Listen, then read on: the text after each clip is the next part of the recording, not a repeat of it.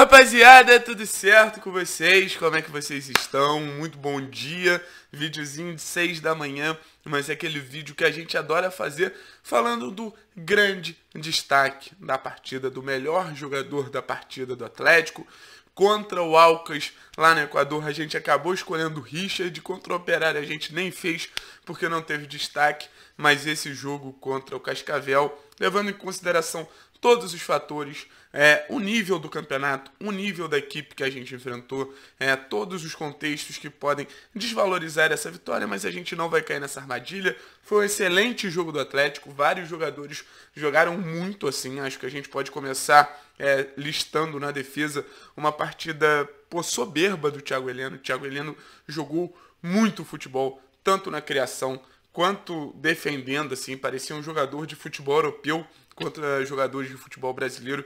Tamanho era um desnível. A gente teve muita potência nas laterais, graças à formação é, escolhida pelo Antônio Oliveira, quando ele traz os pontos para dentro e deixa o corredor para os laterais. E os laterais jogam muito, muito, muito. Segunda partidaça que o Kelvin faz, que já tinha entrado super bem contra o Alcas. O Nicolas é, reestreia pelo Atlético fazendo outra partida muito boa, criando chances, finalizando, aparecendo como uma flecha ali por aquele lado é, e criando uma sensação que a gente já comentou ao longo da semana, que essa concorrência pela lateral, tanto pela lateral direita quanto pela lateral esquerda, vai ser algo muito bonito de ver ao longo da temporada porque os titulares já são muito bons e ainda existem terceiros jogadores assim.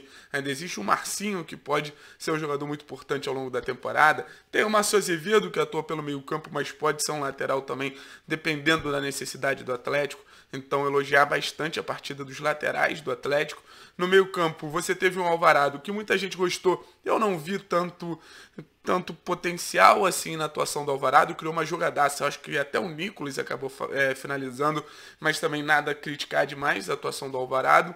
Você teve o Jadson, Jadson sendo o jogador que a gente pede muito aqui no canal, que é sendo o jogador efetivo, trazendo as jogadas dele, trazendo tudo que ele consegue é, imprimir no jogo, qualidade de passe, capacidade de fazer lançamentos, um toque mais refinado, mas juntar isso à efetividade. Fez seu primeiro gol no retorno Atlético, deu sua primeira assistência no retorno Atlético. Tomara que volte a ser um jogador muito importante, como já foi na história do clube. Qualidade para isso, a gente sabe que ele tem. Então, elogiar bastante a atuação do Jadson, que muita gente fala que eu pego no pé e tudo mais, mas quando é para elogiar, eu elogio e elogio de verdade. No ataque você teve um Iago e um Vitinho, como eu falei, sendo pontas, mas jogando muito por dentro. O Vitinho fez talvez a melhor partida que eu tenha visto do Vitinho no profissional do Atlético. A gente vai fazer um vídeo para destacar só a atuação do Vitinho, porque realmente foi muito boa. O Iago menos efetivo, um Iago menos participativo, mas também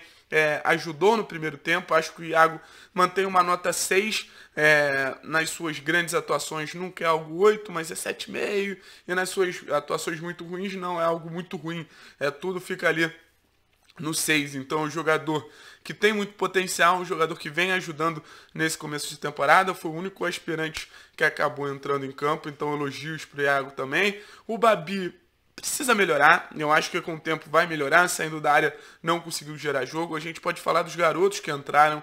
Reinaldo já já. Cara, que alegria eu senti vendo aquele gol do Reinaldo, cara. Um contra-ataque jovem de jogadores que a gente aposta tanto. Porra, eu quero muito ver isso ao longo da temporada. Então vejo Jajá e Reinaldo como jogadores que podem crescer se a gente tiver um contexto mais arrumado. E aqui, ó, dando meu braço a torcer, é bom você ter uns jogadores ali mais experientes, mais prontos, um contexto mais arrumadinho para fazer esse desempenho desses jovens jogadores que, como a gente sabe, tem bastante potencial aumentar, elevar. É, eu achava que não, eu achava que não tinha muito por que ajudar, mas sim, eles ajudaram e potencializaram quem realmente deve ser potencializado no Campeonato Paranaense, que são os jovens. A gente pode falar da atuação de Vitinho, de Reinaldo, de Jajá. O Matheus foi outro que entrou bem. É, como eu falei, não errou nada. Não errou passe, não errou domínio. Criou jogadas de situação de gol, conseguiu ativar bem os laterais. A gente destacou o Nicão no, no, meio da semana, como ele ativou bem os laterais. Em todo momento gerava situações com os laterais e o Matheus a mesma coisa. Gerou três situações de gol, uma finalização perigosa, uma cobrança de escanteio muito bem batida, um lance ali que o Mingote acabou chutando rente à trave, o Mingote também entrou ajudando, pressionando e tudo mais, mas vocês estão sentindo falta de eu falar de um jogador, né? porque para mim foi ele o grande destaque da partida, é, pelo fator novo que ele apresentou. Eu acho que o Campeonato Paranaense é esse campeonato da gente entender o novo, da gente conseguir situações para somar junto à equipe principal e o Márcio Azevedo jogando de meio campo, que foi a grande surpresa da escalação do Antônio Oliveira, é, fez uma partidaça. Assim.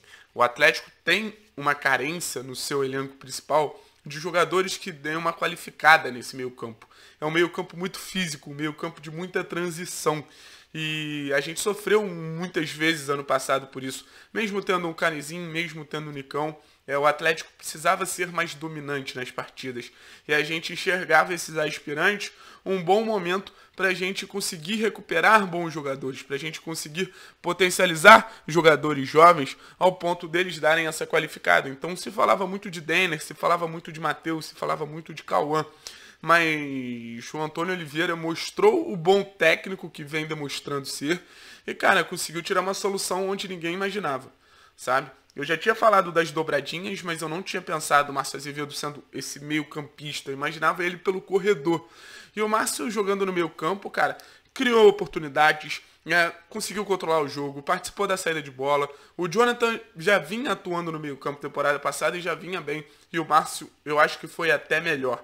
Chega uma atuação muito potente do Márcio. Acho que colaborou com todos os setores, tanto na defesa quanto no, no meio-campo, né, que era a questão da construção, quanto no ataque. Então, é um jogador que passou por um momento muito difícil temporada passada, tanto na questão de perder parentes próximos, mas também na questão de lesões em sequência. Então foi um jogador que já começou a temporada lesionado, jogou a Supercopa, onde realmente foi muito mal e cometeu erros sérios, é, mas mostra que tem qualidade. O Antônio dá confiança para ele, o Antônio bota numa posição onde ele compromete menos com a questão da, da sua situação física, não é um jogador que tem uma noção defensiva tão boa, mas consegue ajudar na parte criativa, na parte de entendimento dos últimos dois terços do campo. Então, como eu falei, acho que a gente poderia listar vários e vários destaques, mas pela surpresa, pela inovação, por ter apresentado o novo para a gente,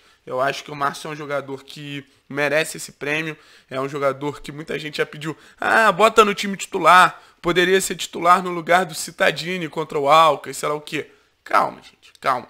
Foi uma solução é algo que a gente pode buscar a repetir ao longo do Campeonato Paranaense, mas também ao longo da temporada. Achei realmente muito boa a atuação do Azevedo e, e faz a gente parar para pensar e refletir sobre outros jogadores. Cara, será que esse lateral aqui não pode ser um bom meio-campo? Será que esse ponto aqui não pode ser um, um bom meio-campo? Será que esse meio-campo não pode ser um bom finalizador? Sabe? Então acho que não precisa ficar preso em posições, mas se o jogador conseguir contribuir de alguma maneira em uma posição que não é dele, por que não testar? Por que não buscar soluções? Campeonato Paranaense é laboratório. Sabe? Mais importante do que o 3 a 1 mais importante do que a vitória, foi o novo que a gente consegue buscar. É, é o acréscimo ao time principal. Hoje a gente tem pelo menos duas grandes soluções para o time principal.